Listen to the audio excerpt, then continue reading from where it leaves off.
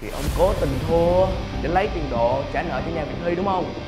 Bà có biết là gì bà mà Winner phải bán độ để trả nợ cho bà không? Nhưng mà cá độ vẫn là cá độ Mình đã tham gia nghĩa là mình đã phạm pháp Mà người ta đâu có bỏ qua cho người thua đâu Alo Alo, Thế Băng à? Trường có chuyện rồi Bỏ qua thì không dễ Nhưng giảm nhẹ thì được Gia đình tôi quyết định là cuối học kỳ này sẽ làm thủ tục cho tôi chuyển qua Mimi. Tôi không xứng đáng làm thành viên của B36 nữa. Tôi xin lỗi. Tôi nhắc lại một lần nữa Bà tránh xa Winner ra. Bà chính là nguyên nhân cản trở tình cảm của tôi với Winner. Cũng chính là nguyên nhân làm cho ông không thể nào tập trung vào đam mê của mình được. Đây sinh ra trên đời cha mẹ cho đôi bàn chân. Bước vẫn cứ bước chẳng có điều gì hối hận.